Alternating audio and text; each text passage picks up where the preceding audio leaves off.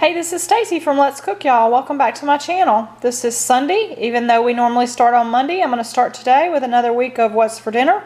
My husband has graciously agreed to cook some wings for us. This is his buffalo wings. I'll show you mine. I'm not feeling that great, so I'm very appreciative that he is willing to cook for me. Hopefully mine's a little healthier, not much. I've got honey barbecue wings and a little fruit cup and some avocado.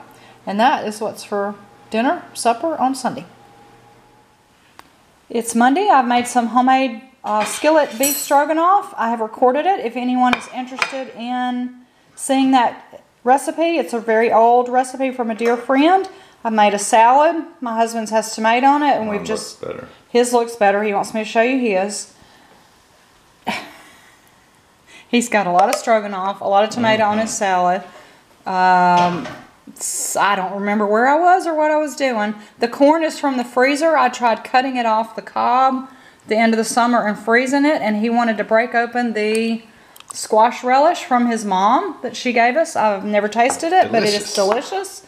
He wants to have it with his corn.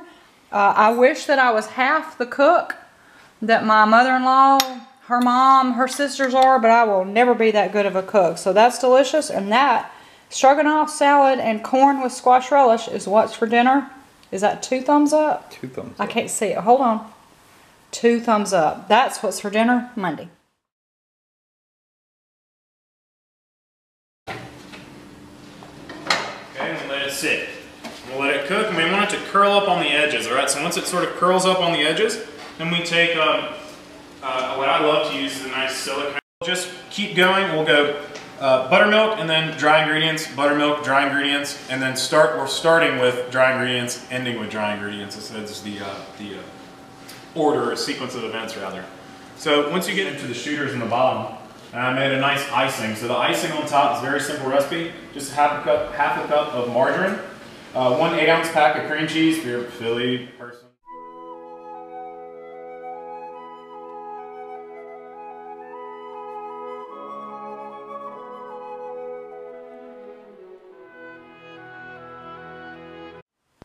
Hey y'all, it's Wednesday night. I've been home today. I'm very happy and thankful to say I did not have to go to a hospital, a doctor's office, or an imaging lab today. I was able to do some stuff around here and I've cooked.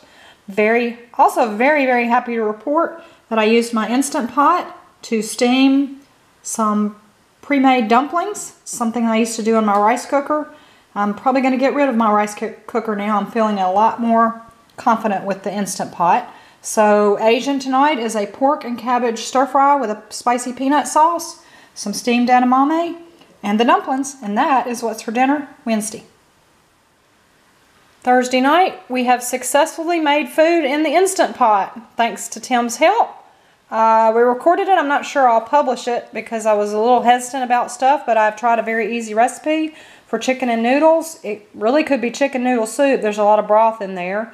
We're going to try this with some sauteed zucchini and just a leftover uh, bun that we had just with butter and cheese. And chicken and noodles from the Instant Pot is what's for dinner Thursday.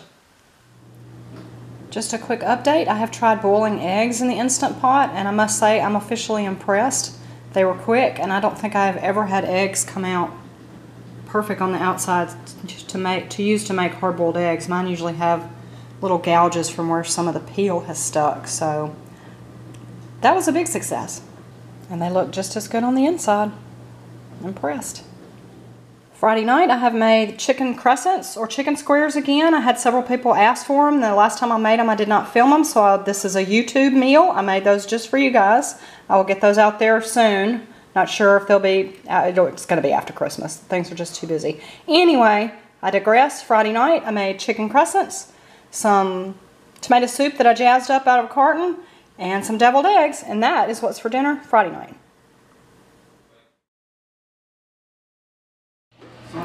It's Saturday and we've gone to eat Mexican again. Chips and salsa. And our food's coming next. Alright, Tim got his usual fajita quesadilla.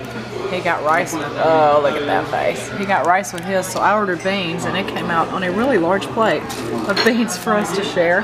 I got a Speedy Gonzales, which is one taco and one enchilada, and a lot of rice. We are already full on chips, but it's awesome.